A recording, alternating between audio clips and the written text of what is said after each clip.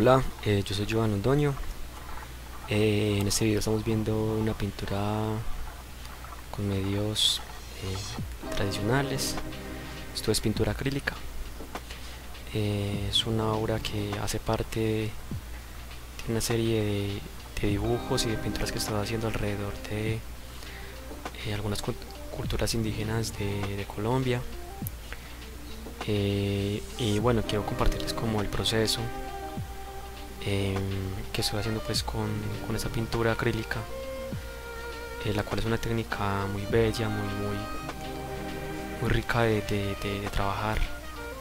Un poco parecida al óleo pero más tirada como hacia un tipo de, trabajo en acuarela. Pues esta técnica se diluye principalmente en agua eh, o se diluye en agua aunque existen algunos medios pues que permiten retardar el tiempo de secado de, de, la pintura. Pero en este caso eh, pues yo lo estoy haciendo solamente con agua me parece que es eh, suficiente. Mm, y quiero pues compartir este trabajo porque pues por una parte los videos que yo voy haciendo eh, los pienso como una biblioteca visual en donde pueda luego retomar algunos trabajos que haya hecho con anterioridad y darme cuenta de cómo fue que se llegó a ese resultado. Pues, eh, no sé, personalmente me gusta eh, eh, probar diferentes técnicas y mirar qué se puede lograr con cada una de ellas, ¿cierto? Al fin de cuentas, cada cosa que uno va aprendiendo va ayudando a nutrir el siguiente trabajo.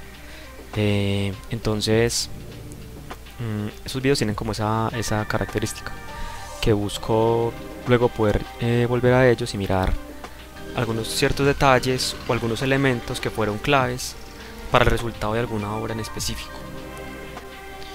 Y bueno, y que también eh, esos procesos puedan llegar a ustedes de pronto pues en, en, la fase de experimentación que estén que esté cada uno y pues les pueda servir. En este punto se puede ver como la pincelada está muy, muy aguada. Pues lo que estoy tratando es de lograr el efecto de lo que se llama una veladura.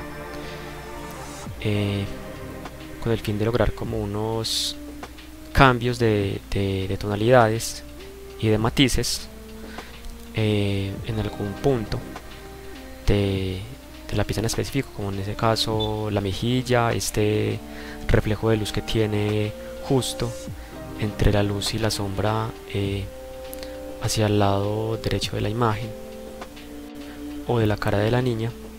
Y pues así voy colocando como algunas luces que quiera eh, ir poniendo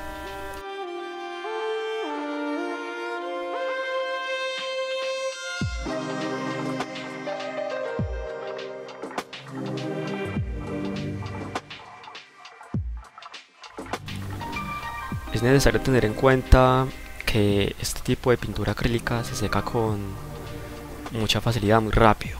También depende eh, del lugar donde se encuentran ubicados geográficamente y también de la temperatura que esté haciendo, ¿cierto?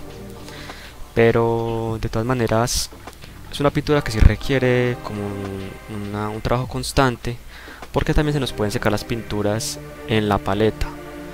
Eh, entonces es bueno que tengan a la mano un tarrito tipo Sprite, así parecidos como a los que uno utiliza como en lociones o en los perfumes, pero entonces eh, lleno con agua para ir humedeciendo la paleta cada que sea necesario. Pues se van a ir dando cuenta que los colores se van secando en la paleta, entonces hay que mantenerlos húmedos.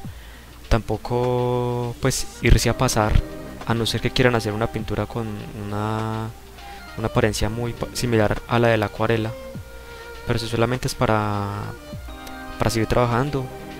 Si es importante humedecerlo sin pasarse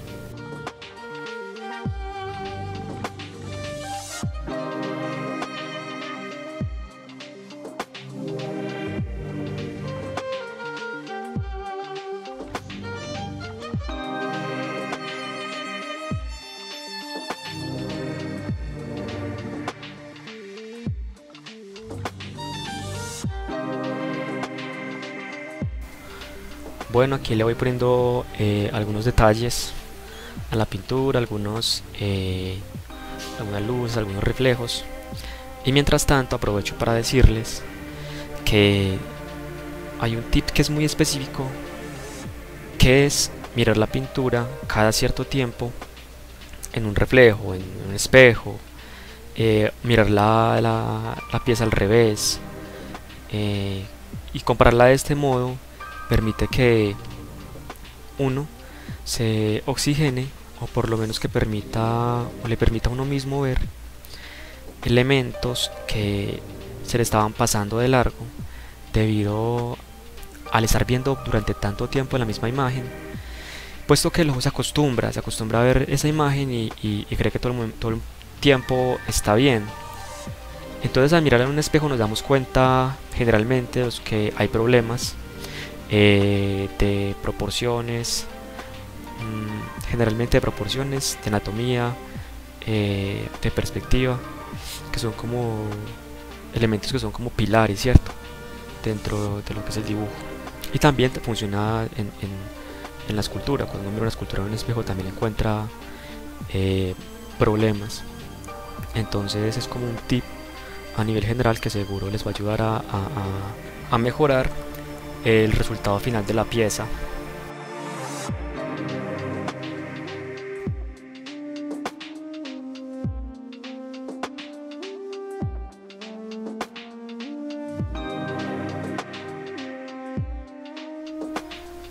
Recuerden trabajar con paciencia.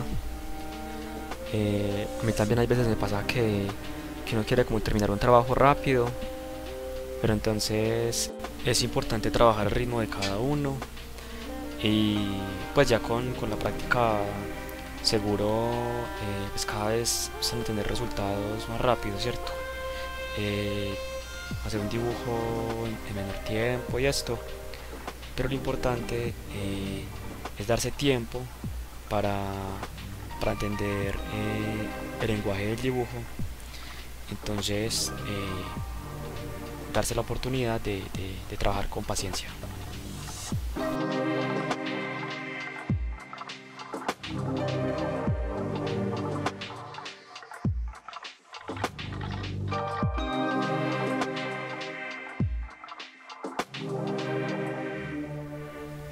Recuerden suscribirse, eh, dejar su like, activar la campanita.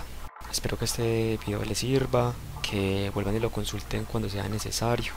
Eh, no solamente eh, pues prestando atención de lo que les estoy diciendo, sino también tener la paciencia para, para, mirar el video. Hay veces uno de mirar solamente también, también aprende. bueno, muchas gracias por acompañarme en este proceso y nos vemos en el próximo video. Gracias y chao.